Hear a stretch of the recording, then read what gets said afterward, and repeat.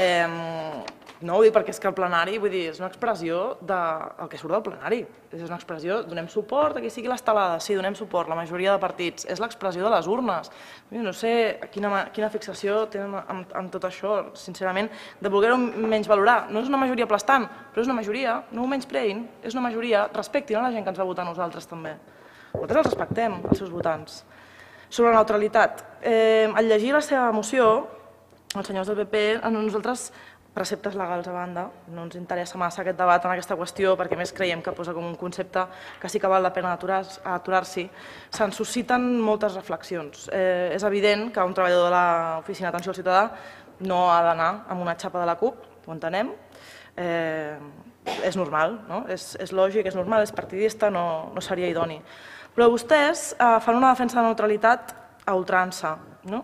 I nosaltres no podem evitar preguntar-nos què és la neutralitat, que és una samarreta llibertat presos, és una samarreta llibertat presos polítics, és una samarreta de Nelson Mandela, és neutral, no ho és, és un llaç groc, és el color groc, el color groc no és neutral, és, és, eh, ara ja és de part el color groc, el color groc allà on sigui també doncs, podrà ser titllat de tenir una, una actuació eh, arbitrària o tendenciosa, eh, i no poder, i no poder posar-se és neutral, Vostès eh, confonen neutralitat amb, ho sento, amb pensament eh, hegemònic. Neutralitat com allò majoritari, neutralitat com allò que no els ofèn. I aquí a mi se'm desprèn la segona pregunta, i també els hi faig als senyors de Ciutadans.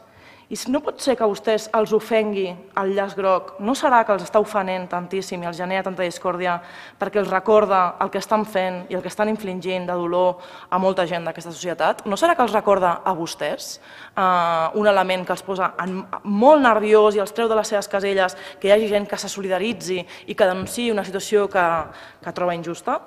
No vol dir que busquen un recer en les seves contradiccions?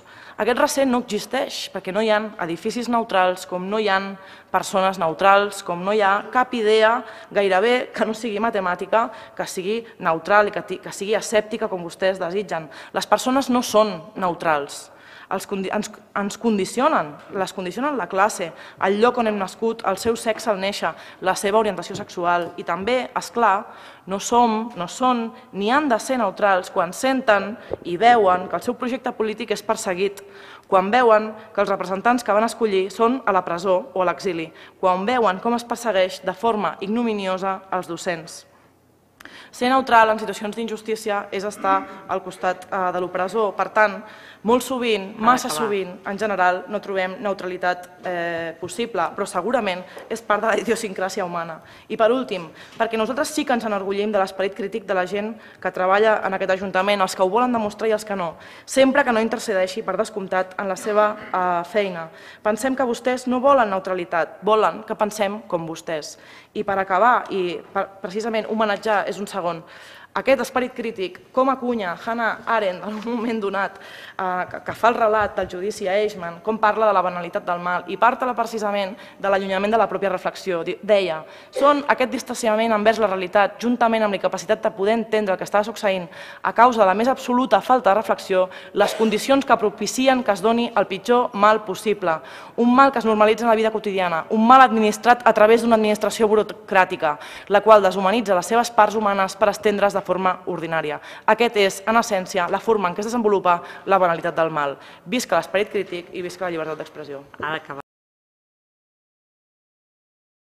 Sí, no, breument per dir, bàsicament això no és el mateix, vostès falsegen els arguments, però en tot cas vigilin amb criminalitzar la protesta, vigilin amb criminalitzar la protesta, perquè això va per uns viaranys eh, cada cop més perillosos i sembla mentida que els ofengui tantíssim que la gent simplement simplement expressi que no està d'acord amb les polítiques que està efectuant el seu govern i que són criminalitzadores en la nostra opció política. Si això els ofèn tantíssim, els hi, els hi, els hi recomano i els hi torno a dir que els que s'ho han de revisar són vostès, perquè no pot ser que els hi ofengui tantíssim això que no va en contra de vostès, no va en contra de vostès, no va en contra de vostè. És una reivindicació i és solidaritat i és una xarxa de suport i és, eh, és denunciar un fet que sembla profundament injust, evidentment.